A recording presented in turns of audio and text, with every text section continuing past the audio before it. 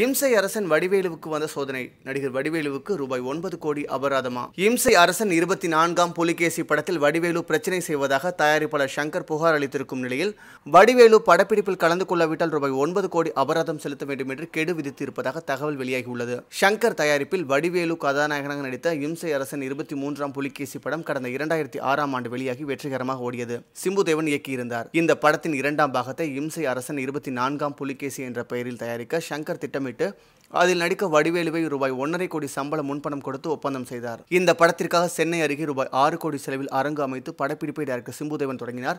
ஆனால் திரைக்கதையில் தலையிடுவதாகவும் படக்குழுவினர் கொடுத்த உடைகளை அணிய மறுப்பதாகவும் வடிவேலு மீது புகார் கூறப்பட்டன.